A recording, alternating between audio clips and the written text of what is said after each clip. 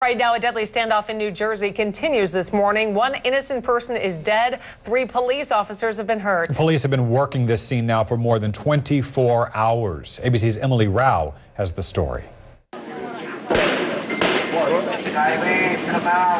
Police using a bullhorn pleading with the 35 year old suspect to come out of his house and end the day old deadly standoff. You think by now something would be done. Yeah, I mean, they could do something. Neighbors are evacuating the area after little progress overnight. Many of them heard the gunfire early Wednesday morning as police attempted to serve a warrant, and Tylee Reese allegedly started shooting from inside the house.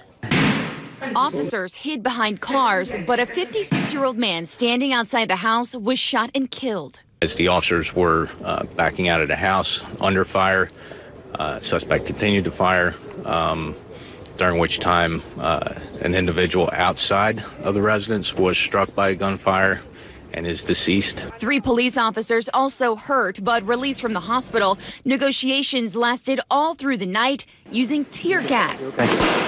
Okay knocking down doors at nearby homes, even sending in a robot with a cell phone, an attempt to persuade Reese into surrendering. It is too close for home. I mean, it's right there. I'm right there. Not much has changed overnight. Police say the goal is still to get Reese to surrender. They believe his leg is hurt somehow and have offered to help him if he comes out of the house. Emily Rao, ABC News, New York.